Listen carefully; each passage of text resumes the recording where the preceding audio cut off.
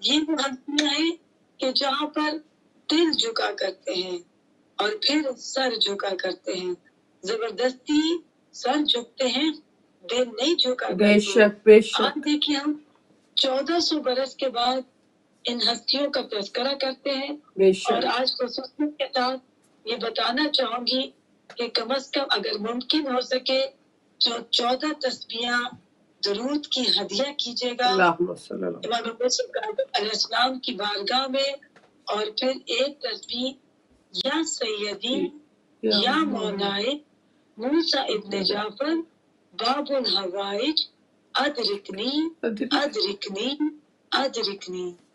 आज के दिन जब मौला की शहादत को मौला की गुर्बत को याद करें तो फिर खुदाए करीम की बारगाह में इस्तगासा करें।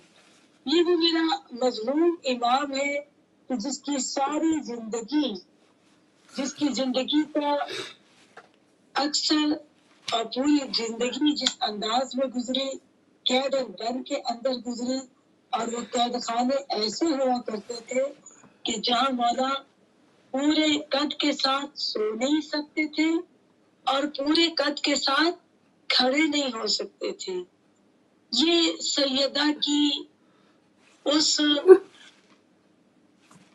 बेटे की ज़िंदगी है जिसे खुदा करीम ने बाबुल हवाइज करार दिया। इमाम कि जिनकी ये वो हाजतों का दरवाज़ा है बेशक बेशक। से खुदाए करीम की बारगाह में तवस्सुल करता है तो परवरदिगार उनकी दुआओं के ऊपर मुस्तजाबियत दुआ की मोहर लगा देता है।